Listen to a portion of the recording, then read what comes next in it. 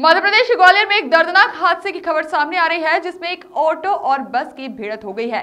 जहाँ पर बताया जा रहा है कि ऑटो ओवरलोड था, जिसमें ड्राइवर सहित तेरह लोग सवार थे। इस हादसे में एक दर्जन महिला सहित एक ऑटो ड्राइवर की मौके पर ही मौत हो गई है और प्राप्त जानकारी के अनुसार मौके पर पहुँची पुलिस ने शवों को निकालने का काम शुरू कर दिया है और घायलों को उपचार के लिए अस्पताल रवाना किया गया है।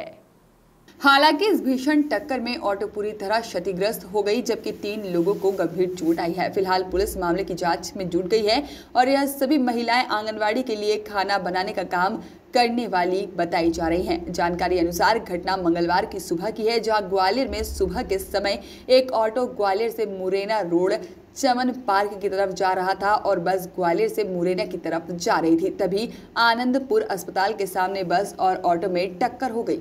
रानी छावनी थाना अंतर्गत ग्वालियर में हाईवे पे जो मुरैना की तरफ़ जा रहा है, इसमें एक ऑटो जो कि ग्वालियर की तरफ़ आ रहा था स्टोन पार्क से और एक बस जो मुरैना की तरफ़ जा रही थी, इसमें हेड ऑन कोलिजन आमने सामने की टक्कर हुई है, जिसमें ऑटो में सवार 12 महिलाएँ और ऑटो चालक। 13 लोगों की डेथ हो गई है और जो अभी कारण सामने आ रहा है, ये महिलाएँ वहाँ पे आंगनवाड़ी में खाना बनाने गई थी रात को और ये दो या तीन ऑटो से गई थी, जिसमें ऑटो इनका एक ख़राब हो गया। तो सारे ऑटो की सवारियाँ एक ही ऑटो में होके ये लौट रही थी।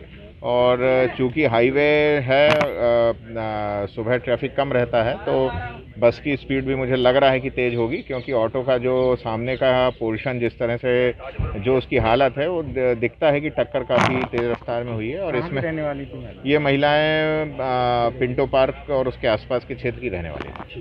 क्या नाम है आपका? रवि।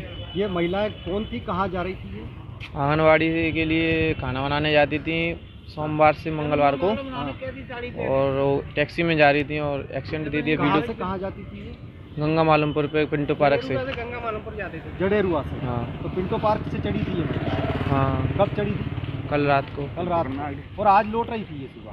हाँ। वहाँ से लौटते में हादसा हुआ?